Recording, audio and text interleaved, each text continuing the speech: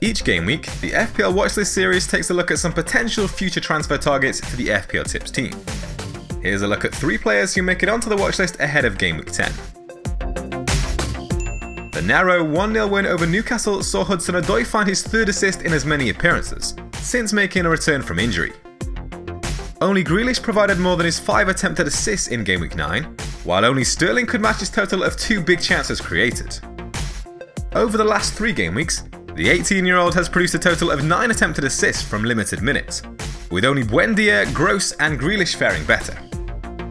Mason Mount has amassed a tally of 6 attempted assists during the same period, although he has offered slightly more goal threat, with an XG of 0.84 compared to 0.57 for Hudson-Odoi. For those of us with 3 Chelsea players already, it's a tough decision between sticking or twisting with Mount as the midfield option. The Blues still have a kind schedule over the next 8 game weeks, with an away trip to Man City being their only meeting against a top 6 side in that time. Robertson picked up his third assist of the season to earn Liverpool a late draw at Old Trafford, after Lallana turned in his low cross. That sees him go just one FPL point behind Alexander Arnold this season, and with some good fixtures on the horizon, could the double up be on the cards? No player has completed more successful final third passes than the Scotland left back this season. The Reds have only kept two clean sheets, but the underlying numbers suggest they've been unlucky not to earn more.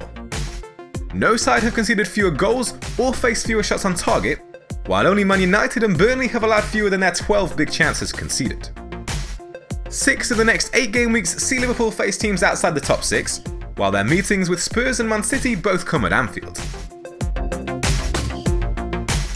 An impressive display against top of the league Liverpool has put Man United assets in the FPL shop window, ahead of some favourable fixtures.